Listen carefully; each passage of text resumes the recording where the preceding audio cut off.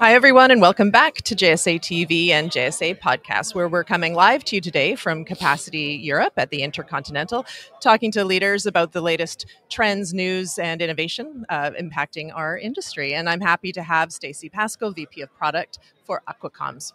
Thanks for joining us. Thank you for having me. Yeah. Yeah. Your role is relatively new Yeah. uh, since since uh, capacity last year, so Yeah. we wouldn't have spoken at the event at this event last year. Um, tell us about your role and and what it entails. Yeah, so I joined Aqua Comms maybe nine months ago. The business was smaller at the time, really just a couple of submarine cable systems. And so product wasn't something that you really needed. You've got a couple subsea systems, you're selling wavelengths. What can product really do? Right. But the business is looking to expand. We're going into some new markets. We're bringing on new cable systems. We're looking to get a little bit more specific with our product portfolio to the customer's needs. So they asked me to come join the team and build out a product function because they didn't have one before. So that's what I've been up to for the last nine months, and it's been fantastic.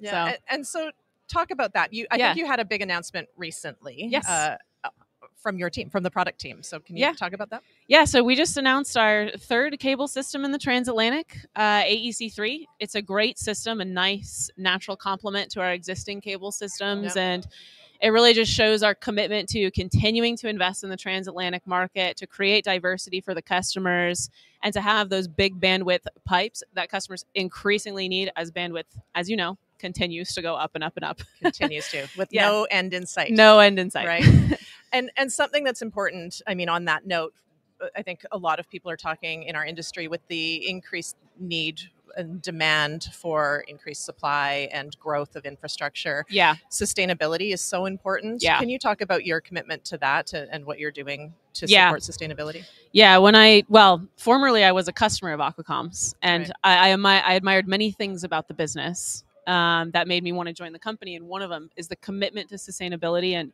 even as a customer, I didn't really see everything that they had going on. Now that I've joined the company, it's been amazing to see the alignment that the business has with the board on sustainability being at the forefront of everything that we do. It's ingrained in every single one of our KPIs for our business objectives for the year. It's in our top three objectives to hit all of our sustainability metrics and KPIs. So it's really nice to see that. And the business does a lot of cool things that I didn't even realize before I joined, like at events like this or any other conference.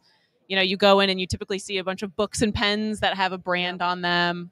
And when I first joined, where's our Aqua Comms books and pens? What am I supposed to give out to the customers? And it was, well, we don't do that. Instead, instead of giving out things that might get thrown away or end up in a landfill, you know, these branded things, uh, we keep money for every customer that we meet with and then at the end of the conference we donate that to a sustainability initiative instead of having yeah you know a bunch of little things out there that's what we do at our conferences and i thought that's just brilliant i don't know why more people don't do that and it's just little stuff like that all throughout the business that really makes me feel fulfilled working at a place that puts sustainability at the front line Yeah. yeah the big things matter but so do the little Yeah, things exactly, right and and just having that i mean yeah who needs more stuff to throw in their suitcase Yeah. and then throw home, out when they get home right? exactly that's you know sort of walking your talk there makes a big you know it's it's makes an impact Yeah. so yeah that's a that's a good example so what's the rest of the week hold for you Um, well, meetings, meetings, meetings, Yeah. as any capacity event. Um, it's been great to come here and meet with interviewees like you, see some of the panel sessions. There's been Yeah. some fantastic panels this week. And then one of the most excellent things about Capacity Europe is that we've got our headquarters out here. So we've got a huge team of folks Mm, here, big team meeting tomorrow. And it's just always nice to come together and see everybody. yeah that's great you get Yeah. it's sort of a, a sort of a double win for you Yeah, You exactly. be with the team be with the industry Yeah. all in the same week Oh, that's great well it was really nice to chat with you this is our first time chatting hopefully we'll Yes. get to talk uh, many more times Yes. in, in the future and throughout the year maybe and, and again next year when we're probably both back here Yeah. um, anything any parting words anything you want us to watch for with Aqua Comms as we go into 2024 I just keep an eye out. We've got things moving. You know, I think the the opening up of a product organization within the business shows that we really are getting ready for some advancements into new marketplaces. We're doing some expansions through to India that we're really excited about once those cable systems go live. So, you know, everybody thinks about Aqua Comms in the transatlantic and we are excited to start kind of changing that brand around and having everybody think of Aqua Comms for sustainability or sorry, submarine services Yeah. and sustainability, And I suppose. both of those Worldwide, yeah.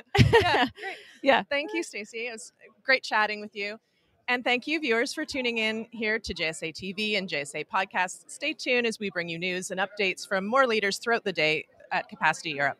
Happy, happy networking.